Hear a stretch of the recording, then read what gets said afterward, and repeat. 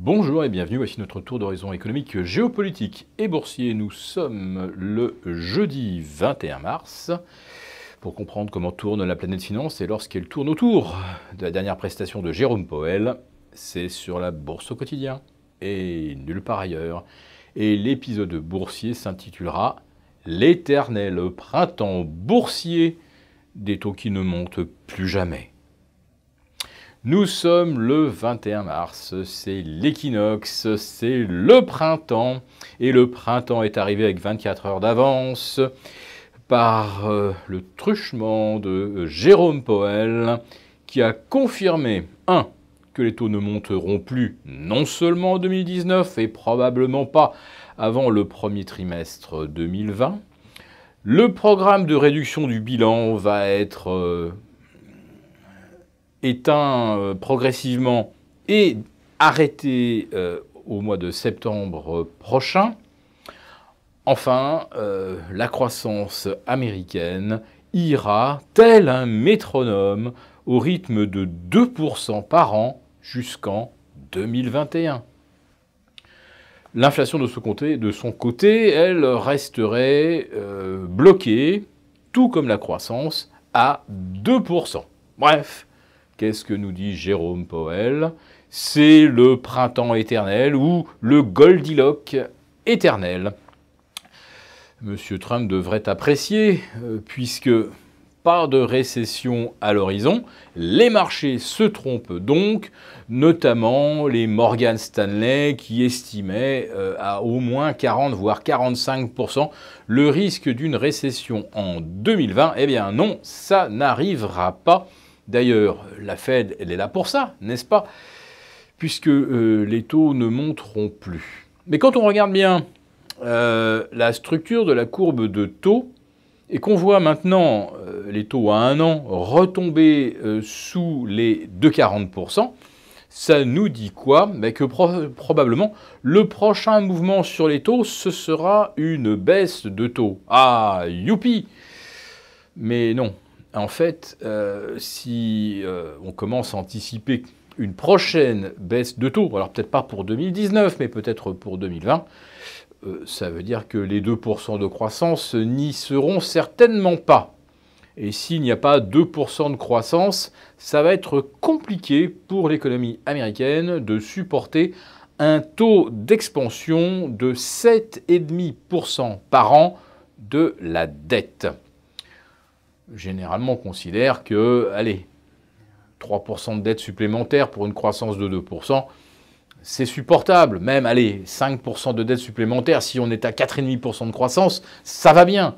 Hein, c'est un peu le calcul que euh, poursuivait la Chine euh, euh, jusqu'en 2008. depuis, ça marche, ça marche beaucoup moins bien.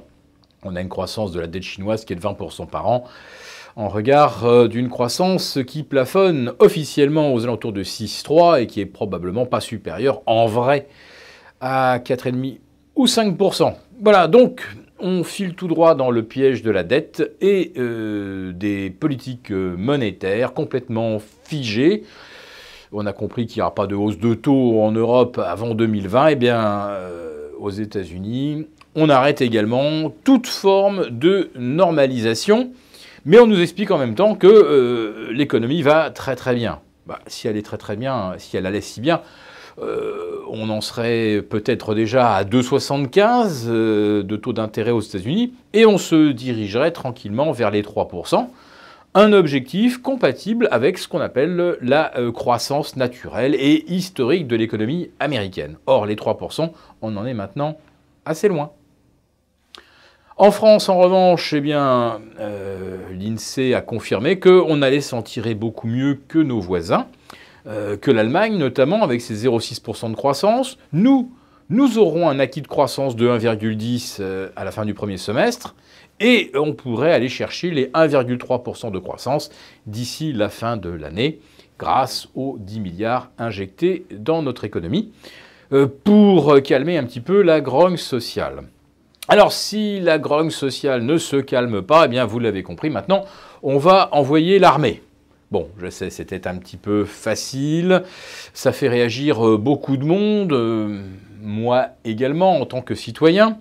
Alors, si on va dans Paris samedi, est-ce qu'on risque pas de se prendre une balle perdue? Non.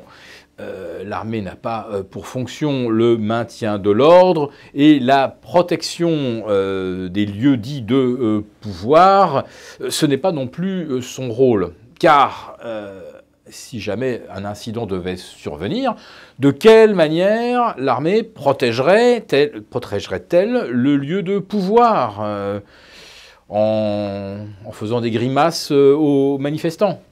Donc on est dans une situation assez ubuesque et qui résume d'ailleurs très très bien M. Alain Boer. Alors, ceux qui connaissent le personnage savent qu'il a, a, été autrefois grand maître du Grand Orient, ensuite spécialisé dans les questions de sécurité, euh, président de commission franco-américaine sur euh, la sécurité, sur les échanges de renseignements. Ça a été le monsieur sécurité euh, de Nicolas Sarkozy. Il a également conseillé François Hollande.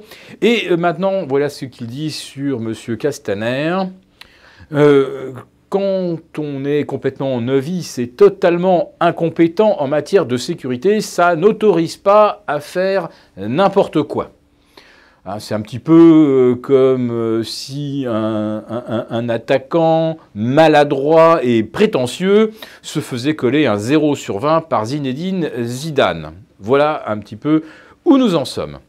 Alors, on va quand même essayer de se détendre un petit peu. Les marchés montent, le CAC 40 repart à l'assaut des 5004 et on ne voit toujours pas se dessiner euh, de euh, signaux précurseurs d'un retournement de tendance à euh, court terme. Autrement dit, ce sont les achats, le suivisme qui prédomine. Et qu'est-ce qui drive vraiment la hausse? Eh bien, vous le savez, ce sont les buybacks orchestrés par les entreprises. Or, les résultats, bah, maintenant, ils vont sortir d'ici trois semaines, un mois. Donc, les buybacks doivent s'arrêter avant euh, la publication des résultats, il y a une sorte de période de, euh, ben de, de, cesser le feu quelque part euh, en matière de, rachat. Donc on va rentrer dans cette période et c'est peut-être ça qui mettra enfin un terme à la plus longue série haussière du 21e siècle et à la plus puissante depuis le printemps 2015.